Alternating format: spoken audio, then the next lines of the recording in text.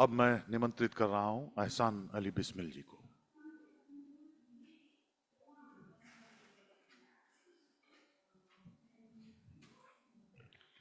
शुक्रिया, सर। आज के इस सेशन में मौजूद सभी हज़रत को मेरी तरफ़ से सलाम, झूले, नमस्कार। मेरा नाम एहसान अली बिस्मिल है। मेरा ताल्लुक दुनिया के दूसरे सरद तरीन इलाके सेकंड कोल्डेस्ट प्लेस द्रास से है। मैं आज आप लोगों के बीच शीना ज़ुबान की नुमाइंदगी करने आया हूँ। सबसे पहले मैं अपने इलाके का फ़र्ज़ अदा करते हुए कुछ उर्दू इशार आप लोगों को सुनाना चाहूँगा। हिमालय की पर्वत पे भारत का ताज। हिमालय की पर्वत पे भारत का ताज, करे पाक और चीन बॉर्डर पे राज। हिंदुस्तान का अगर आप मैप देखोगे हमारे वतन का तो लद्दाख सबसे टॉप पे आता है।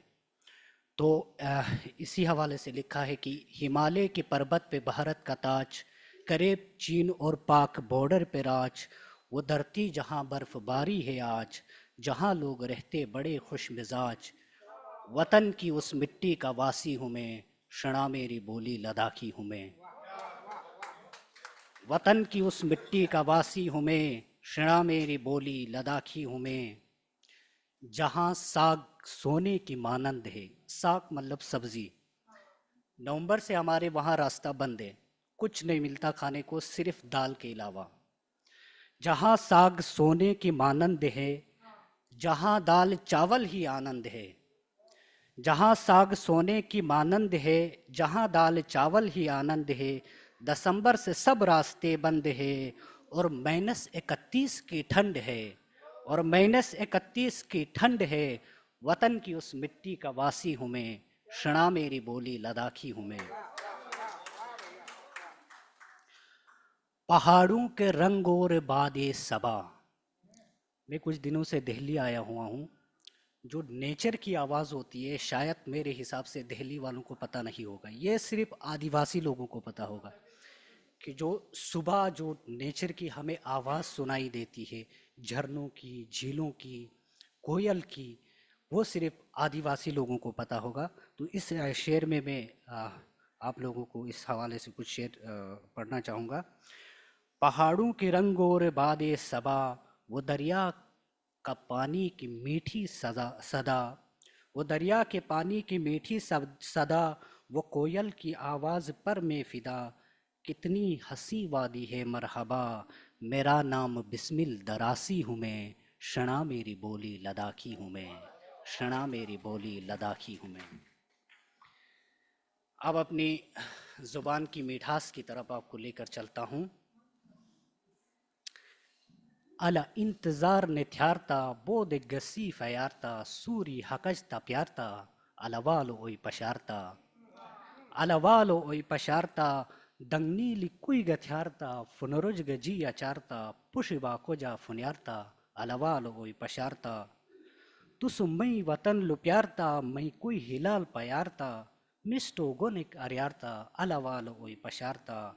केलेगा आमी फारता तुषागे ढेर तुषारता। केलेगा आमी फारता तुषागे ढेर तुषारता।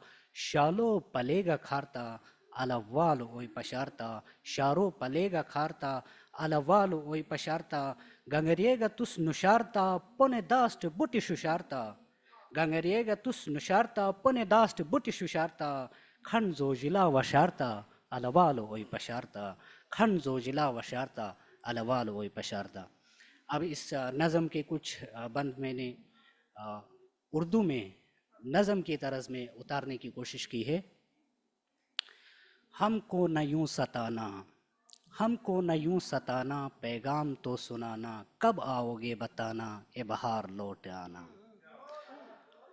हमारे यहाँ बाहर का इंतज़ार नवंबर से हो रहा है। मैं आपको बताता चलूँ कि अभी हमारे वहाँ लगभग चार फुट बर्फ़ है, चार फुट।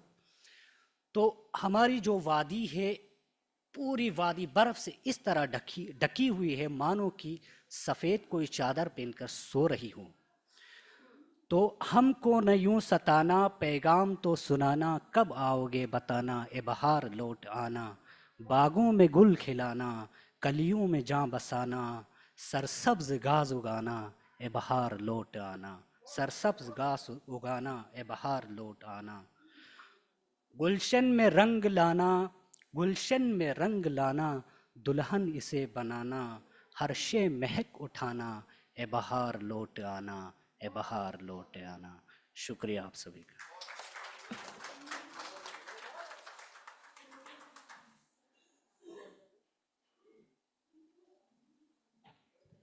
बहुत बहुत शुक्रिया एहसान भाई। अब सत्र के, इस सत्र के अध्यक्ष, आदरणीय श्री सुदर्शन वशिष्ठ जी को मैं निमंत्रित करता हूँ। वे अपना रचना पाठ भी करें और सत्र का समापन भी।